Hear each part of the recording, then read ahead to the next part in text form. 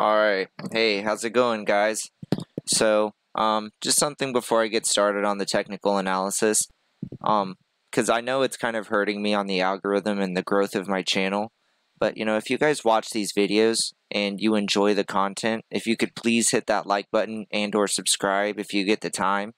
More so if you're already subscribed, hit the like button. As, you know, if you view the, the videos every day and you don't hit the like button, it just kills you know any chance of my channel growing because the algorithm realizes people aren't interacting with the videos. Um, and honestly it hurts the channel in the long run if you just watch them and you know you don't hit the like or I'm not you know what I mean? Like they look for interaction and how long people are watching these. So you know I hate asking for it but uh, you know, it would just really help the growth of this channel. Um, you know, my last couple live streams, it's been really getting, it's been hard getting people to come in and watch them. And I've noticed even the, the viewing on my static videos is dropping. So, you know, it would just really, if you want to see this channel grow and you want to see me, you know, to motivate me a little bit more to push these videos out, it would really be helpful and I would really appreciate it. So, getting back onto Bitcoin right now, we uh, we hit our support line at roughly 9,150, had a nice little wick off of it. Then we had our two touch points where we actually, uh, just about the 9400 area, we have two wicks here. Now, something I was talking about on my live stream that I was talking to myself on. You see this candle right here? This is this means indecision. So I really don't like starting positions here as it's just it's not a very good area if you're trying to base where you're going to go because this I mean literally this is considered indecision. Mark, you know, people really can't make up their mind if we're going to go up or down. So, you know, for me at least I'm holding off here.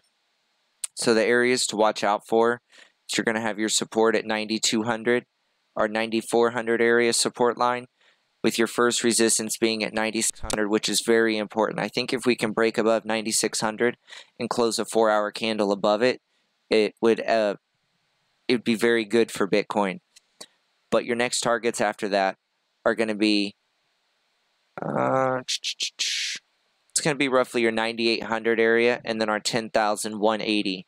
That's where we, you know, it's where we actually made a double top was it uh $10,180, which was right here.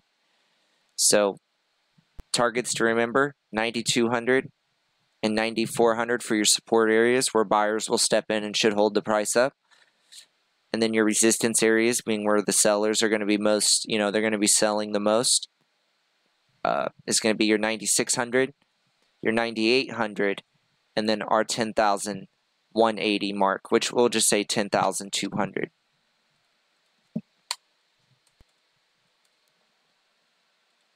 So looking at Ethereum, we're holding our support line at about $205. Um, we had a wick down where we touched the bottom of our triangle just below about 198, so let's just say 200. So your areas you want to watch out for on light, or I'm sorry, on Ethereum is you're going to have your 205 support, our temporary support line.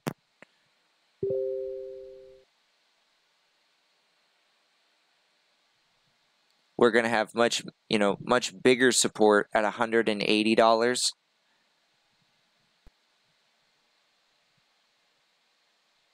And then we're going to have another support area at roughly about $160. That's if it was to get really bearish.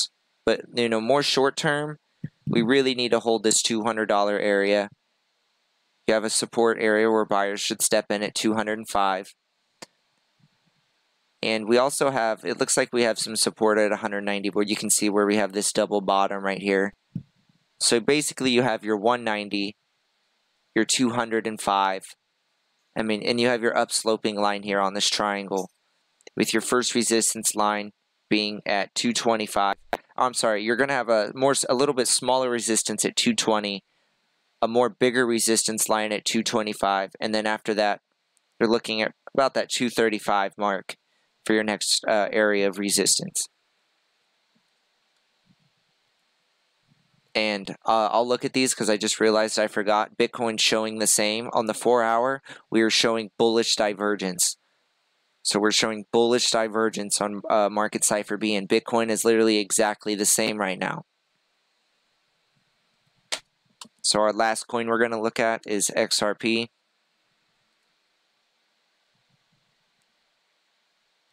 We're showing bullish divergence as well. Not as strong though. Uh, you're going to have your support line where buyers should step in at 30 cents. You're going to have a much more stronger support line at 28 cents. And, you know, if all else fails, your last area you're really going to have is that 25 cent mark we've been talking about. If we go out on the daily, sorry, just making sure good. If we go out on the daily, you can see it here at 25. So just to recap, you have support at 25. Oh, I'm sorry, you're going to have your short-term support at 30 cents, a much more stronger uh, support line at 28 cents, with your first area of resistance